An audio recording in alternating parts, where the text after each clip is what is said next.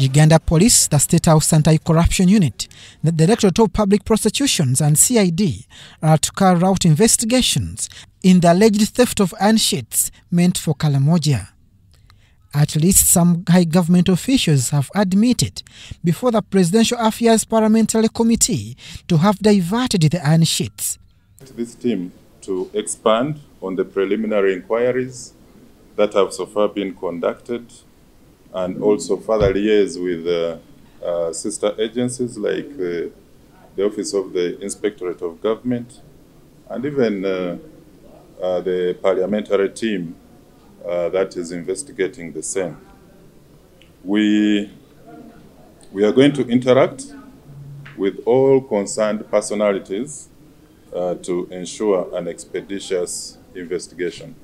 Meanwhile, police is holding five suspects for causing a 2 billion shillings financial loss meant for printing voting materials, though 600 million shillings so far have been recovered.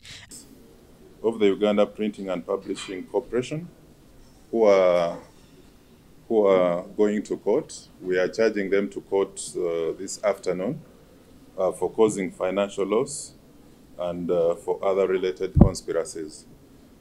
And uh, the five suspects we have include uh, Professor Waswa Tom uh, David, who was a former managing director of the UPPC, uh, Mr. Kaseke and Mujuzi Astrapo, the former finance manager.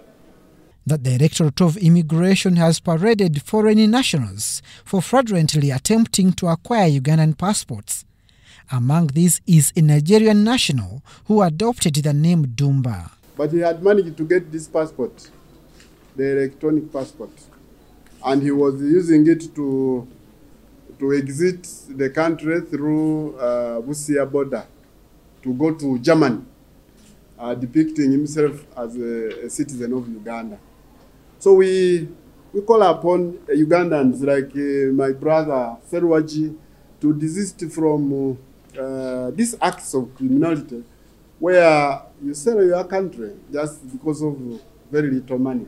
The Directorate also has called upon applicants to collect finished passports. So far, the Department of Immigration is stuck with at least 30,000 passports.